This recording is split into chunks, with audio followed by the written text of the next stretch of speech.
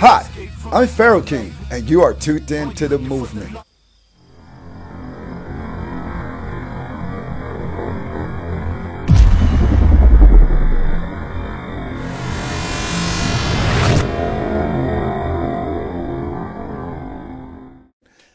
That XYZ! So, my friends, I have a conversation for you. We're gonna get it in this conversation. We're gonna be talking about the 20,000 satellites that's circling our globe. Can I say that? Because I know some flat earthers may flip out, but you know, to each their own. You know, whether the world is round or flat, I don't care. Everything's debatable. And um, the other half of this, we're going to be talking about what I believe to be an alien monarch.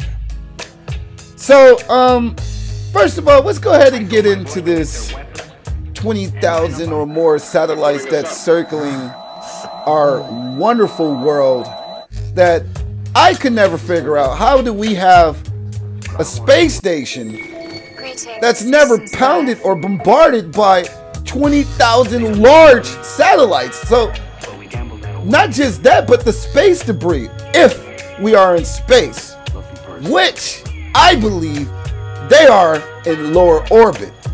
I mean, you can't convince me enough that they are in space without no stars, bro. Dude, where are the stars? You can't tell me that I could go to a place where there's no lights and I could look up and suddenly see thousands of stars and you're in space with the best view in the entire world and it's pitch black.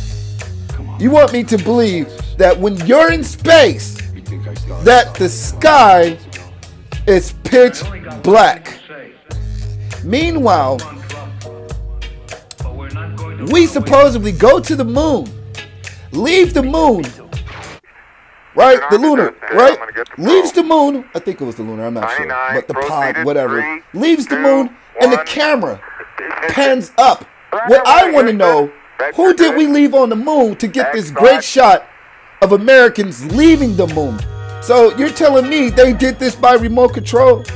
Really? You had a remote control filming you guys leaving the moon. I'm I just want to know the truth because it don't make sense to me. I didn't even see no jet propulsion. I guess they left the moon with just with air combustion coming out the bottom. This this drifting off into space and they made it all the way back to Earth somehow. I mean, I guess it's possible, it's debatable. I'm not an astronaut. These guys were there, I wasn't. I don't know. Right? I'm just saying, basically, how is it that we have a space station, an international one on top of that? And there's so many thousands of satellites, large satellites. And for some reason, this space station manages to move and maneuver out the way all the time. I don't know. Maybe I'm crazy, dude. Maybe. Okay? Now, the Monarch, the Blue Bloods, they call themselves the Blue Bloods. Shapeshifters, can we say that? I mean, has anybody ever wondered how has these people got into power? How? Who? Who are you? Tell us the truth, man. Because I don't understand this whole blue blood concept. And a lot of people think that they're shapeshifters, right?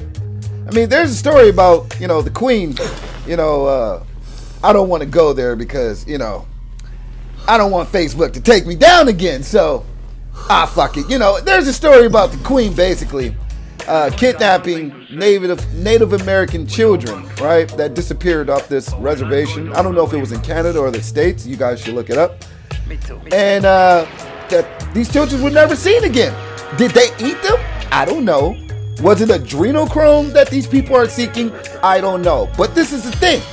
We would never know. But you tell me, with all this strangeness in the world, could the monarchs, these kings and queens and these people of power, be shapeshifters? And if you are not thinking outside the box, my friends, then you will be stuck in a box.